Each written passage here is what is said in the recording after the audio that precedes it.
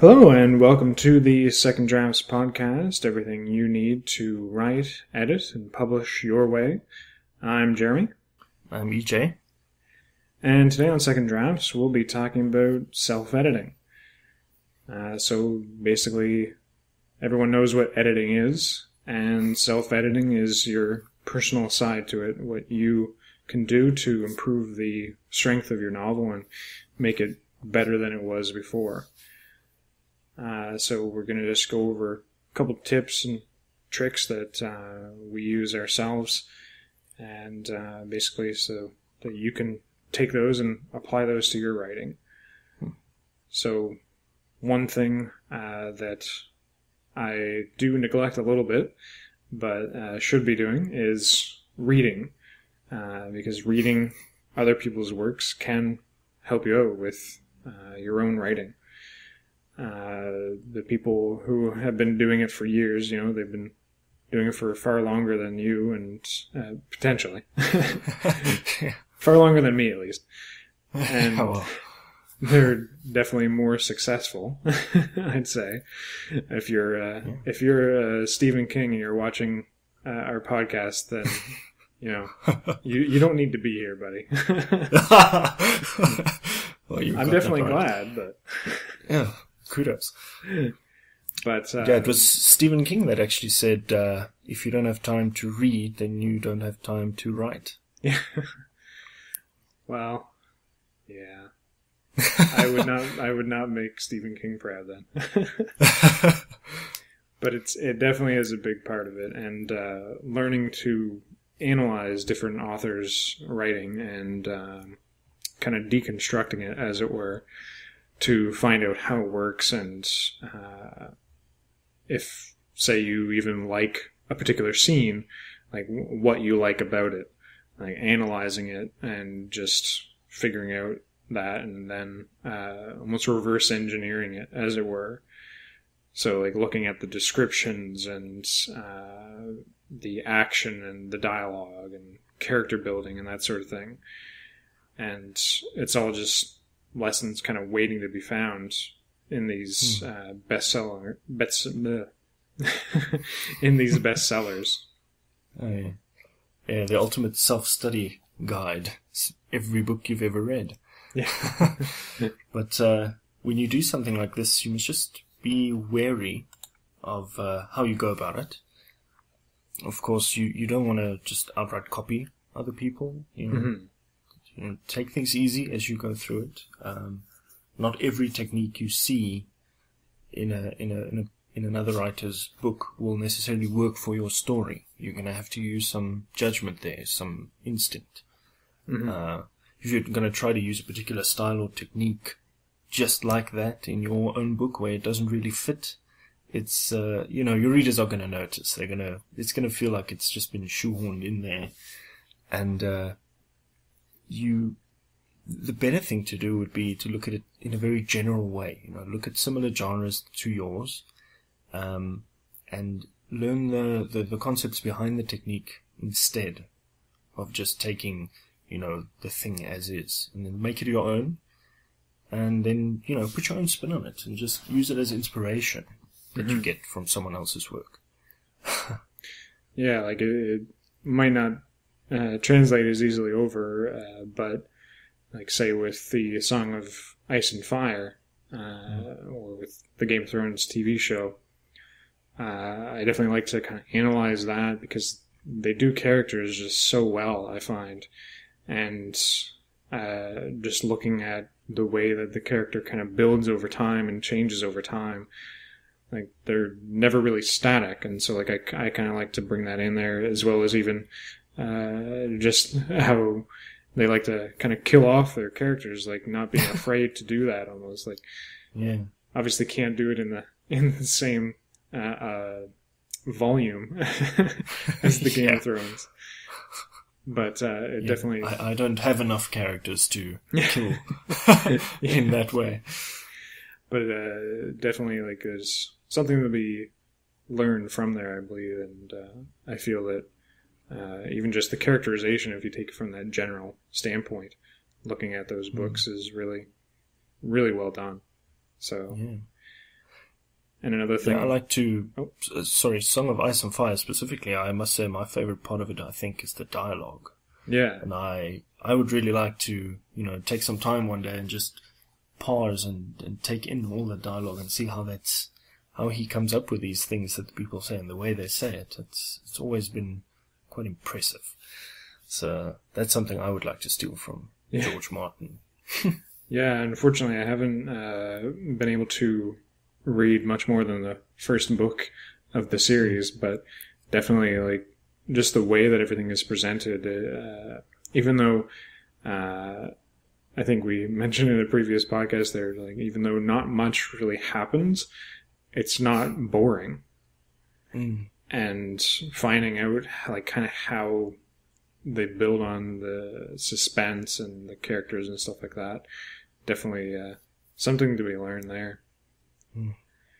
and you can even learn from your own work too like not just looking at other people's writing but you can look at your own work and if say family or friends have read your book uh, try to get an honest opinion from them on what areas specifically they really liked or didn't like. And if there's like a certain set of chapters, like you have a little mini uh, story arc in there, and they really liked that for one reason or another, you know, try and look at that and find out what makes it so good. Um, like I know, for instance, uh, in my first book, I definitely got some feedback on like a, a certain area there, and um, as far as plot wise, there wasn't really much in there. Like definitely some build up for later on in the series, but Mhm. uh, it was more about like I think the pacing and the action involved, and so like I've tried to take that and apply that to everything uh, that I did in the second book, and hopefully I think it helped a little bit. So. Hmm.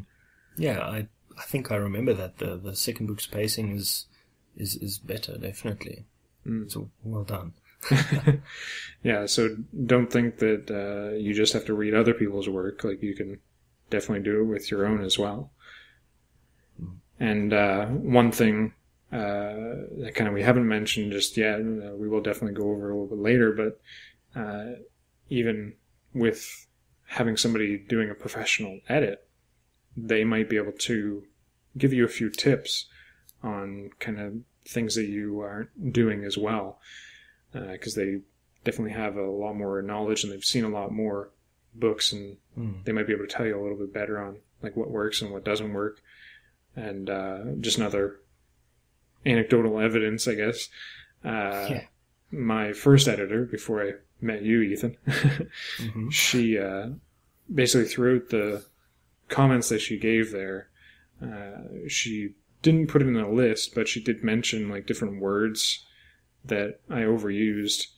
And so i put them into a list and what i've been doing each time is like i basically go through that list each time that i'm doing my self edits and i try to change around so that there's stronger uh, just better words overall that are used instead of the weaker, less descriptive words that I Yeah. tend to lean towards.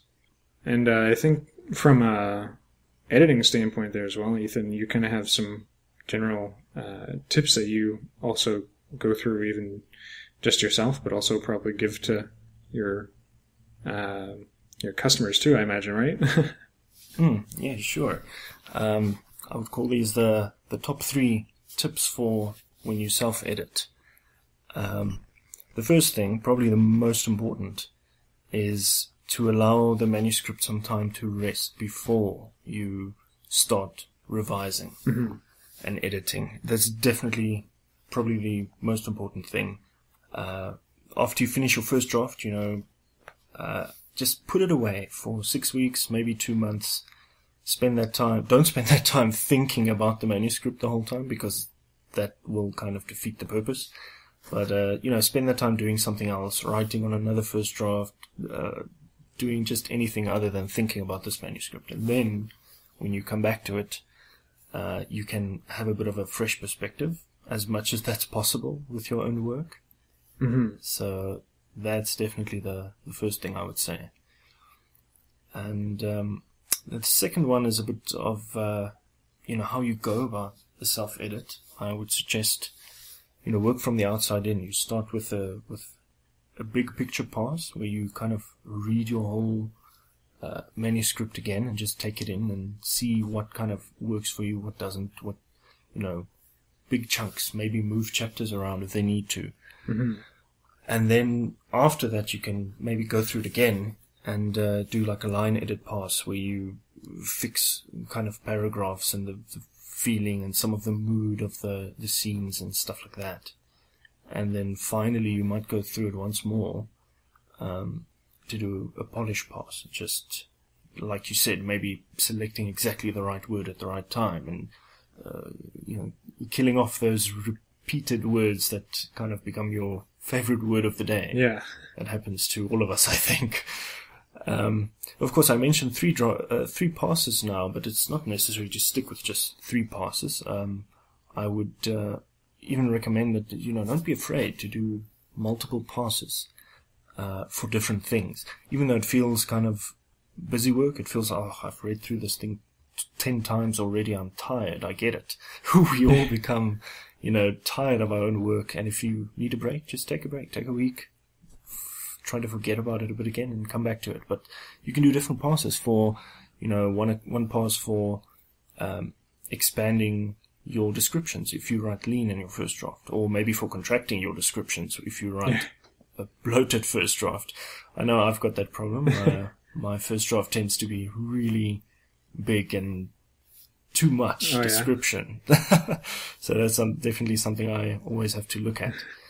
And I mean, then you can have another pass for getting your character reactions just right and realistic. That's not always possible to do in the first, you know, first time you go through it. You're kind of focusing on the events sometimes, and you don't always focus on things like characters and getting them just right. yeah. I mean, even the best authors will have several drafts. Uh, I can't remember. Uh, it might have been Stephen King again there because he's always uh, talking about his writing. but uh, I know that you know you sometimes even just redo the whole novel several times over. Have sometimes even twelve drafts before uh, you would end up having that final draft that you Oh. feel kind of satisfied with. And Yeah. I know with myself, like uh, sometimes, like what I what I do if I am having trouble with a certain section or uh, it just doesn't feel right. Kind of like one thing that I do is just kind of push past and kind of what you're saying there in your first tip, just kind of letting it rest, as it were, letting that first Mm. part that I was having trouble with rest and moving on to the to the next uh, part in the novel. And then by the time that you're done, you can kind of go back and do that big picture pass, as it were, and rearrange it, maybe uh, change the chapter around completely or uh, rewrite it, that sort of thing. And uh, Yeah. just redo it, and having that time definitely gives you a little bit more perspective. So, That's yeah, that's the most important part. and then finally, there's one tip that I, I see repeated often, and I found that it really works. Is um, when you are going through a, self-editing pass in your novel, what you can often do is to read your work uh, out loud to yourself. Mhm. And um, for this kind of exercise, you don't need uh, theatrics or performance. You just read it out loud normally in in a normal voice. Um, that very often leads you to discover places in the novel where either the pacing or the sentence length or the sentence structure is is problematic and doesn't sound right. Um, I mean, novels are they are a visual medium in that sense that there's there's words written word involved. But I mean, if you think about where novels come from, originally it was all stories being told around a campfire. yeah. And I think the the the the auditory uh, dimension of a story is still what is primary. I think when even when you're sitting and reading a book, you're actually hearing the story in your ears as if it's being told to you. I, I doubt it's I doubt you can get away from that. That's just how we are. We we we are a storytelling race, and uh, so definitely how the story sounds is still very important. Even if if you're just going to publish it as uh, as you know written text, and of course the day's going to come that you're probably going to want some uh, audiobooks made from your Yeah. book, and in that case, well, you know it's really important to have the story sound good out Mm. Um, And I imagine it can really help with uh, dialogue too, because getting yeah, definitely. getting dialogue right is uh, often probably one of the hardest things to do. Yeah, yeah. I'd, I'd even suggest doing a separate uh, second pass that you read through, where you just maybe read the narrative parts uh, normally, and then when you get to the dialogues, then you can take this opportunity to maybe act it out a bit and put a bit of the the flavor of the character into the dialogue and see how that sounds. Does that sound right according to the character? What you know about them? And yeah, I definitely think you can have some some play acting going on there, and it might really help you out to get uh, realistic sounding dialogue. yeah, Hmm. And another thing I found can be really useful now that we're on the topic of reading your work out loud is uh, getting someone else to read your work out loud for you. That also that has helped me a lot. Uh, I've had it before where I write a piece and I'm not completely sure about it, so I get uh, my fiance to read it out loud for me. And it, it really helps to get a feel for how another person would read your work.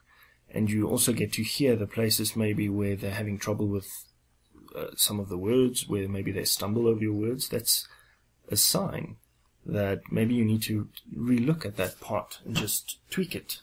It's, it's, you know, you're never going to win by writing prose that you love, but that your readers will typically find difficult or, you know, not so great. yeah. Like uh, even just kind of going beyond the reading side of things. Like one thing uh, that I've found, I have a couple programs that I've been using, and Mm. uh, almost kind of what you were saying there. There's this one program that I've been using called uh, Hemingway Editor, and uh, what it does, like definitely, uh, it it is still a program, so it's not going to be able to uh, tell you really how to write or how you should write.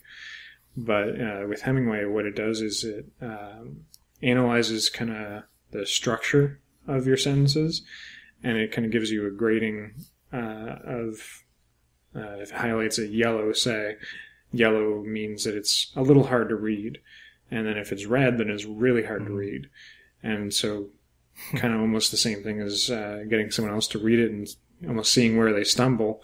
Like this can kind of help you identify specifically like the sentences that might be a little too long or a little bit too complex, and kind of trying to do- tone that down. Um, what I've been doing with it is just specifically focusing on the red ones, just the ones that are really hard because I've found that the the ones that are a little hard to read are just basically they have a couple commas in it. They're a little bit longer than normal there. Yeah. So you definitely, uh, it's still going to be up to you to decide whether or not to accept those suggestions.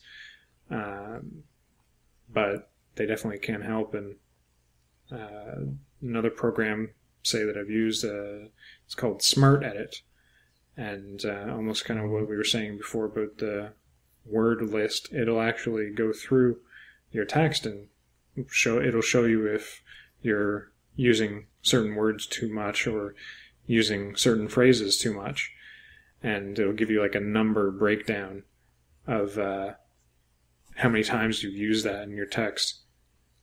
One thing that I kind of wish it did was like uh, the density. Like if you used a certain word in a particular paragraph like five times, that would be a, a, definitely a good update for that. But it can kind of give you an overall feel of that. Hmm. So there's definitely programs that you can use to kind of assist in that. So uh, don't think that you have to just get by on your your own knowledge and that sort of thing. There's lots of different things that can help you out with it. Um, there are some books that can also help you out. Um, there's of course the the perennial ones, uh, Revision and Self-Editing by James Scott Bell, which is kind of a, a very nice uh, book that uh, guides you a bit and, you know, gives practical tips and tricks of how to do it, but uh, also a bit of motivation. You seem to be reading a lot of his stuff. yeah. Uh, and then there's another book that I got very recently. I haven't progressed past the second chapter, but it, it looks quite good so far. It's called Manuscript Makeover by Elizabeth Lyon. okay. And um, so far, that's been been giving a couple of pretty solid tips how to go through revision, um, what to do, what not to do, what to keep your eyes open for. So um, I'll be very keen to finish that book and Yeah. see. There's definitely lots of different books on grammar. Unfortunately, as I mentioned before, I I don't uh, read too much there, but I, I do have on my shelf uh, a couple that were recommended. Uh, Elements of Style by uh, William Strunk Jr. and uh, E.B. White. That one, uh, I think it's uh, heavily rated on Amazon there. And uh, On Writing Well by William uh, Zinsser. Uh, I think that's how you pronounce it. I'm not too sure. Uh, but definitely I've heard a, a lot of different places recommending those. Uh, so if Hmm. if you've read them already, there, audience, then you are already ahead of us.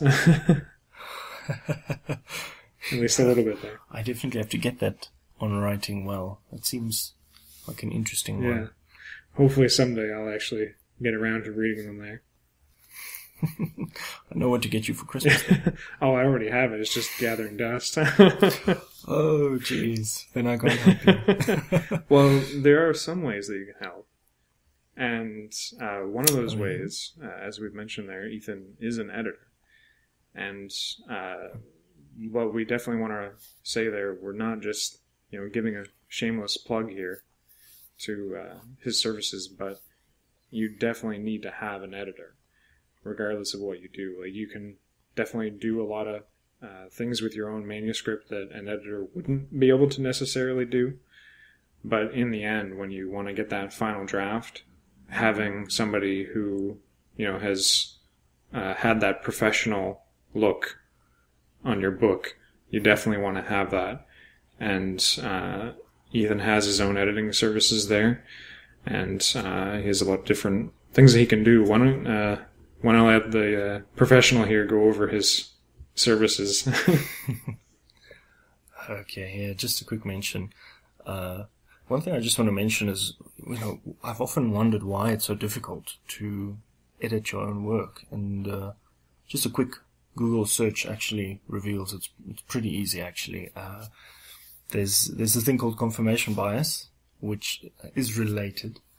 The problem is when you write your first draft, you are obviously writing it the way that you believe it should be written, which is not bad. That's perfectly normal human behavior. But then the problem is when you read through it afterwards, you tend to see what you intended to write and not necessarily what you did Hmm. write. And uh, I mean, no one's immune to this. I edit other people's books for a living, and still, when I finish my book, I have to go out and find an editor because I cannot edit my own Mhm. work. It just doesn't work that way. So that's kind of uh, just one of those things. You'll never catch everything. So, uh, never, never, never for your own work. Um, so I do personally love the projects where I can see the author took some time to self-edit and, you know, the manuscript they give me is pretty polished. Um, that's always good and it, it, it's the mark of an author that, that really wants to improve and get, get better. And you know what these people do? Uh, over time they do definitely get better. hmm Um, of course, I'm look. I'm never going to complain if there's a lack of self-editing in a manuscript that someone gives me. I mean, it's my job to edit it. So either way, it doesn't matter. I will, I will edit anything. Um, but definitely, when when someone gives me a manuscript that's extra low effort for me, you know, I I kind of feel bad charging them full price. So I tend to throw in an after the fact discount there on uh, some well polished manuscripts. It uh, it definitely happens, and it's pretty great. Mm. So if you're interested in uh, editing services, um, I do run a little website over at uh, silverjmedia.com, and I work in pretty much all genres. I offer content critiques as well as uh, proofreading, um, and even even blurbs for the book.